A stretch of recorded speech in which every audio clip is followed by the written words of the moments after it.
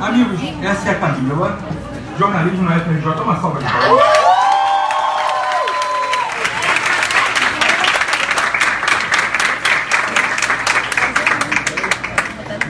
É só. Gente, olha só. Eu vou passar o pote. Por favor, dá dinheiro. Eu gasto 16 reais de passagem. Minha cota para o trote são 130 reais. Eu ainda não paguei. Por favor, dá dinheiro. É, agora você repete isso no microfone, o pessoal de baixo. O que, que é em segundo O que, que é lugar? cota pro trante? A UF. Ah, pra UF também? E pra PUC também. E pra PUC também? Pessoal, pessoal da sala 5 tá me ouvindo bem? Se levanta o braço. Sala 5 ouvindo sim? Oi, gente, bom dia. Pessoal da sala interativa, por favor, daqui a pouco, quando eu estiver lá embaixo, dá dinheiro, porque eu vou gastar muito dinheiro de passagem, porque eu falei pra UFRJ que eu gasto 16 reais pra ir e 16 reais pra voltar. Então, por favor, dá dinheiro. E quem dá dinheiro, não passem, tá, tá escrito aqui. É, eu falo muito e eu perco o foco. Então, se eu esquecer, por favor, me lembra, porque eu vou perder o foco mesmo. É, eu conheci o Vitor através da minha irmã, porque minha irmã estudou aqui, acho que em 2012. E aí, em 2016, eu estava no terceiro ano, e aí eu vim pra cá pro Vitor. Eu estudava no Walter Orlandini. E eu estudava de manhã e fazia pré à tarde. Eu comecei no Vitor, acho que era em janeiro. E ele ainda estava dando aula. Mas depois ele parou de dar aula por causa do acidente, aí ele não pôde mais dar aula e eu tive aula com os professores. Que é como é agora no BP Tarde. E aí eu fazia pré, fazia escola, fazia curso de inglês e fazia mais outro curso. E, e aí, tipo, eu estudava e tal, mas eu não estudava muito em casa. Era mais difícil para estudar em casa, eu não conseguia. Então, tipo, eu não passei, e eu esperava que eu não ia passar, porque eu não estudei o suficiente. Mas aí em 2017 eu pedi para meus pais para voltarem. Eles para voltar, eles disseram que eles não iam poder pagar. E aí eu vim aqui pedir bolsa. Quando, quando eu vim aqui, Manu ainda estava aqui em 2017. E aí eu, e eu sou amiga de Manu antes de conhecer ela no pré. Aí eu vim, aí eu perguntei quanto era o preço, ela me falou o preço integral, eu falei, tudo bom, Manu, não vamos mais, tô indo embora, tá? Esquece, nunca mais eu venho no Vitor. Mas aí ela falou assim, ah, quanto você pode pagar?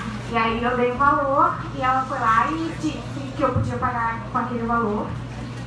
E, e aí eu voltei. Quando, quando eu voltei, eu ainda fazia muita coisa. Eu fazia o pré o dia inteiro, fazia curso de inglês e aquele mesmo curso que eu fazia ano passado. Então, tipo, segunda-feira eu ia pro curso, que era um dia na semana, aí eu ficava aqui a semana inteira, aí no sábado que tinha aula, eu ia pro curso de inglês, sábado, tipo, 8 horas da manhã, aí ficava até 10 e pouca e vinha pro Victor. Teve até uma vez que eu tava vindo e eu fui assaltada, levaram meu, levaram meu celular, pegaram meu celular dentro da minha bolsa.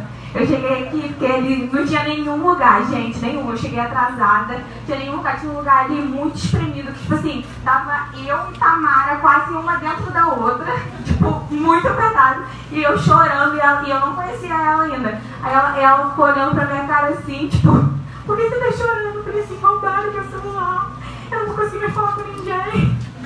Mas Aí, mas depois eu ganhei outro, eu ganhei.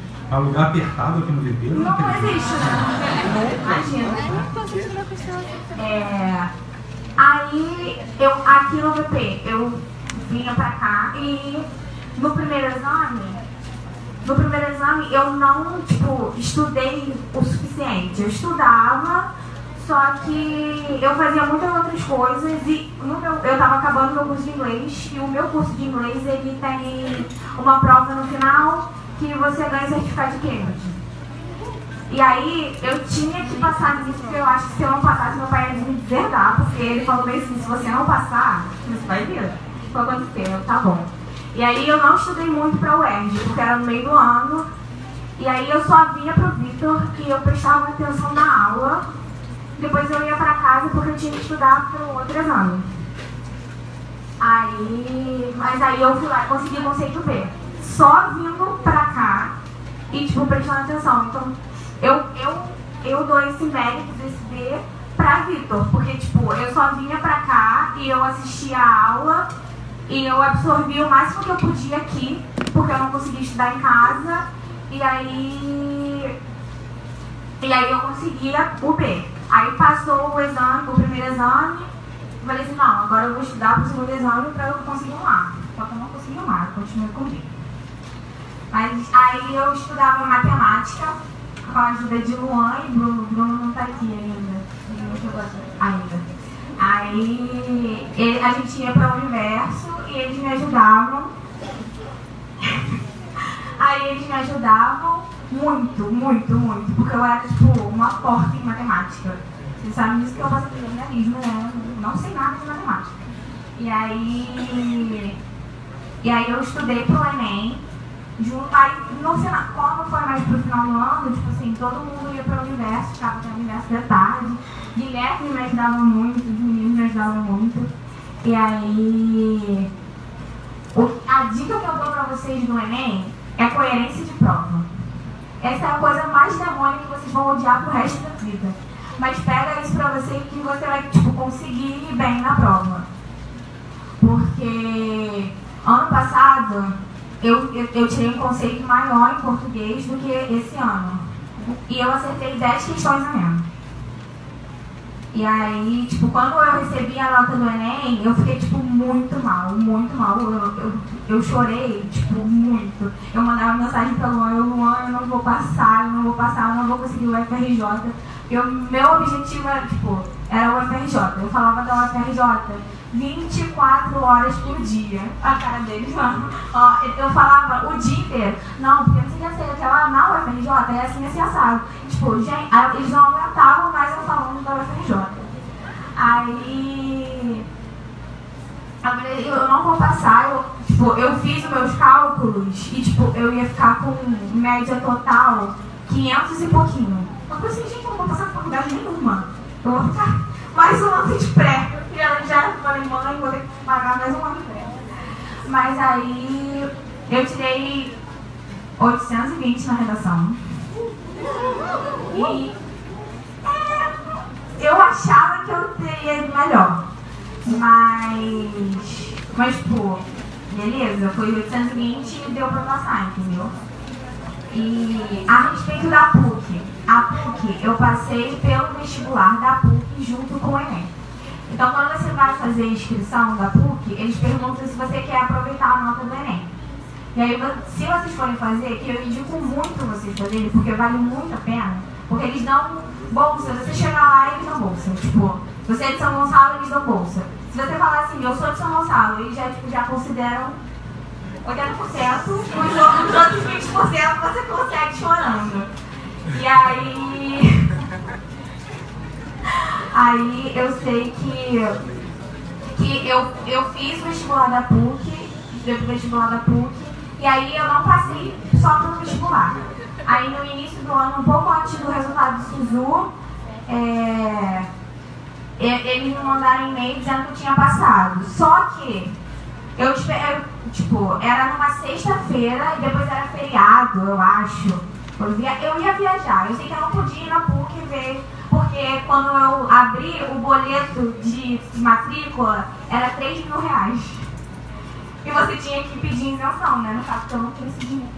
Quem tem, beleza, não Aí eu, eu, eu, não, eu não corri atrás, eu nem sei quanto de bolsa eu fiquei na PUC porque logo depois veio o resultado da UFRJ.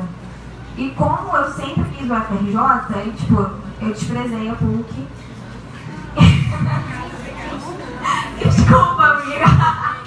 Não, mas é porque, tipo, era a minha segunda opção, entendeu? Tipo, caso eu não conseguisse passar na UFRJ, eu queria PUC. Mas não tanto quanto a UFRJ, porque a UFRJ é uma grande eu escolhi o curso, eu não escolhi o curso, eu escolhi a UFRJ.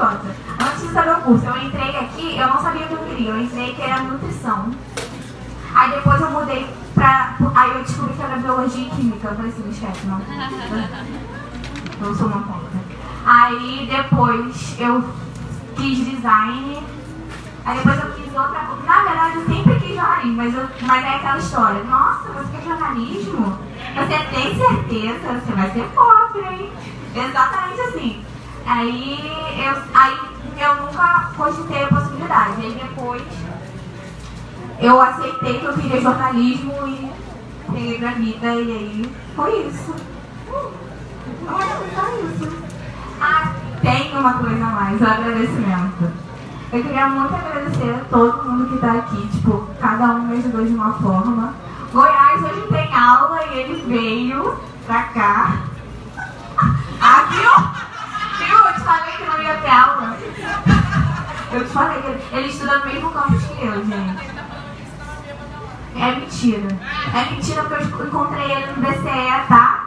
Olha lá, ele indo embora, viu? Sabe que é verdade. É verdade. Aí. Olha lá, se escondeu. É, queria agradecer muito a, a Bruno, ele não tá aqui, que estou atrasado. Mas ele, ele me ajudou muito, Luan me ajudou muito, Milena me ajudou muito. Eu chorava, gente, eu chorava muito, eu chorava todos os dias. Todos os dias eu mandava mensagem pra alguém porque eu tava chorando, porque eu, gente, eu não vou passar, eu não vou passar, eu não vou passar. E eu chorava, minha irmã, coitada, tadinha. Ela vai, perguntou a ela, ela falava assim, cara, para de chorar, como é que você tem lágrima ainda, chega de chorar, você vai passar. Mas aí, mas é isso, eu queria agradecer a todos vocês que estão aqui, muito obrigada por ter vindo. Muito obrigada, Vitor, por essa oportunidade que você dá para todo mundo aqui. O trabalho que você faz é incrível, você é uma pessoa incrível, você é um profissional incrível. Muito, muito, muito, muito, muito obrigada mesmo por essa oportunidade. Eu devo muito, muito a você e eu acho que eu não vou ter palavras para agradecer a você. O suficiente. Muito obrigada.